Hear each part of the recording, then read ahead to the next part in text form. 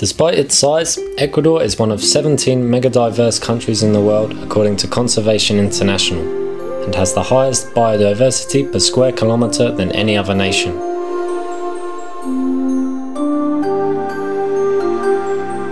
Its geographical location and geological characteristics result in Ecuador having four very different regions coastal, mountainous, Amazonian, and of course the Galapagos. Each zone is home to a huge variety of plants and animals, making Ecuador a truly remarkable place on our planet. However, the advance of man is threatening the purity of the natural world. Deforestation, agriculture, the extraction of fossil fuels, along with the hunting of rare and endangered species, is pulling Ecuador into despair.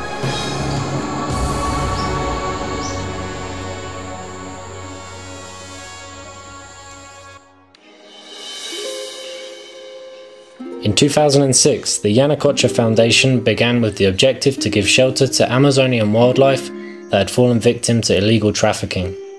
The animals received are given a new home with safety, healthy diets, veterinary care, and the opportunity to live peacefully with their own species. As Yanacocha has expanded and improved, so have its ambitions. This is how the Tamandua Ecological Reserve was formed. Over the past year, the Foundation has managed to purchase 30 hectares of pristine, untouched rainforest, with the main goals being conservation and eventually the rehabilitation and release of rescued Amazonian wildlife. Now, one year later, a huge opportunity has presented itself, with an area of around 40 hectares neighbouring the existing reserve being available for purchase. Solely funded from donations given generously by volunteers and visitors, Yanacocha urgently requires the funds necessary to expand its existing reserve and conserve a precious ecosystem. With a target of $20,000, every cent of every dollar is vital, and donations big or small make a real difference.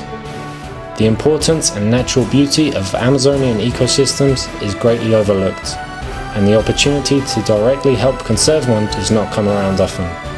If you cannot give, please share. Thank you.